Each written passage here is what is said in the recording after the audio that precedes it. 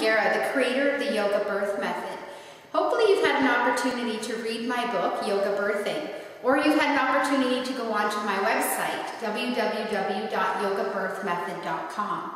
We're going to be doing a series of YouTube videos for those of you out there that are either pregnant, that are doulas looking for skills for their bags in order to help their clients have a more yoga birth experience, for midwives that would like to offer more positions to their birthing mothers, uh, and for partners looking for any kind of support. We'll be covering some childbirth education for those of you that are having your first baby.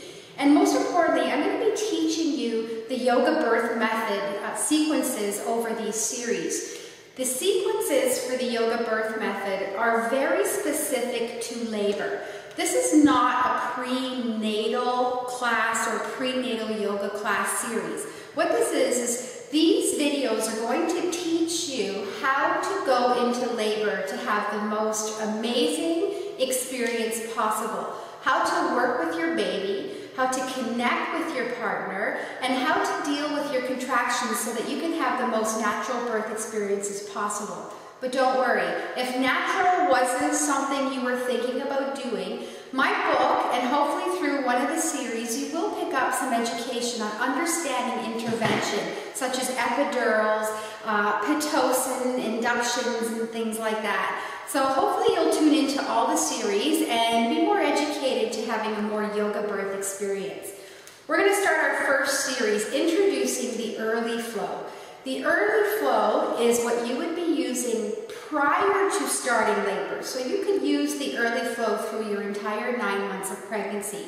However, when the big day starts to happen and you start feeling those contractions, you would take the early flow and start applying that to your labor.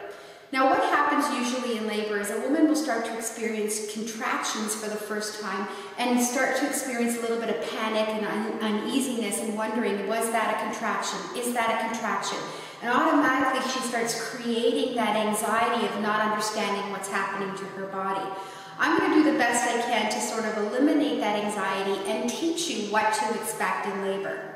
So in early labor, you will start feeling these cramps. And there will be no rhythmical pattern, so it's very difficult to tell whether or not you're in labor because it's not like one contraction is coming on top of the other. They start to come in a slow process. And those contractions start to feel a little bit like molehills. I'm going to show you a picture from my book um, that explains to you what those contractions start to look like over time. In the first stage of early labor, this is what your contractions will start to feel like it will start to come not so intense and then melt away.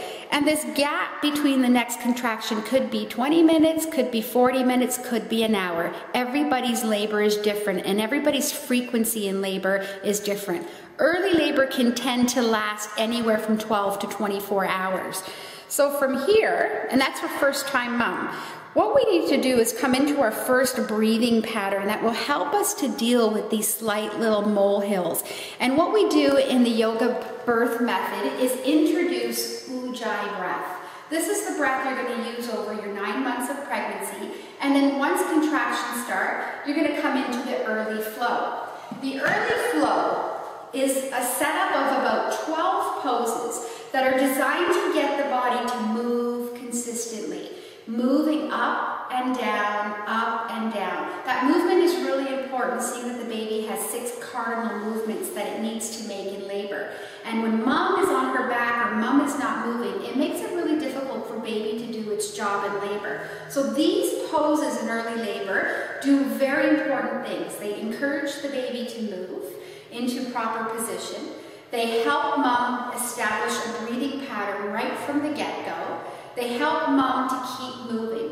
Most importantly, these poses are going to help speed up contractions, bringing them closer together, hopefully making them a little longer, and then hopefully making them a little bit more tense. Sounds like something we don't want, but believe me, we want longer, stronger, and closer together contractions so that we have a quicker labor, okay? So let me introduce Liz Gorad, who will be doing our series with us as our model for our yoga birth method. Liz is seven months pregnant, going into her 28th week. How are you doing today, Liz? Thanks. I want to point out that Liz has never done any yoga before. So this is a really important fact because anybody can do the yoga birth method. Anybody can use these sequences and breathing techniques in their labor. So started. Let's start first with breath, okay? Ujjayi breath. We call this deep ocean breathing. So what we want to do is get Liz to breathe in through the nose, out through the nose. And I can hear Liz breathing in through the nose, out through the nose. Liz has come into her first birthing pose in early labor flow. So once her contractions start, she rolls out her mat and she comes to the mat to start this flow. This flow should take only about 15 minutes. You will see it in a, in a series of different videos as we break it down. But to do the entire sequence is exactly about 10 to 15 minutes. So what I want to point out here is first technique is you need to be careful of your positioning when we're squatting and when we're doing anything on the floor with our hips. As you can see here, Liz's hips are lower than her knees and her belly is sort of squashed into her thighs. So what we want to do is in order to make sure that labor is efficient and baby is working proper position, we need to make sure that the hips actually rise higher than the knees. And this is why having a birth ball, such as one of the birth balls behind me, uh, in labor is so important. Um, so what I want to do is actually raise those hips for Liz. So she has more ability to breathe and she has more ability to work with gravity here. And now baby can assume head down position over the next few weeks. So again, Liz is breathing in and out. So we call this butterfly pose. Partner support aspect. Here's what your partner can do in this butterfly pose. Partner can come up behind mom and then mom rest into his knees. So my knees are sort of into the, into the edge of her back. And she's just going to relax down and then bringing her arms up. And then she's just to release. So now here mom has no tension and stress in the neck. She's completely able to breathe. By opening up her arms like this, I'm also opening up her lungs, which encourages more breath to the placenta, to the uterus, and also will help deepen the contractions. Her inner thighs are going to open up a little bit, and she can just soften those knees down. So as she's comfortable staying here, when she's ready, we're going to move her, or what I like to say, float her to the next pose. Her next pose will be her child's pose. Big toes to touch, knees apart.